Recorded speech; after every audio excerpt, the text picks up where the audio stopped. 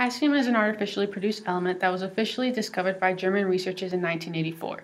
Because hassium is not a naturally occurring element and it has a short half-life of 9.7 seconds, much of its properties are merely predictions. Hassium has an atomic number of 108. It has one of the highest atomic masses of all the elements, which can be attributed to the lanthanide contraction. Based on its position on the periodic table, hassium is expected to have chemical properties similar to those of osmium. They share similar atomic radii, ionization potentials, and orbital energies.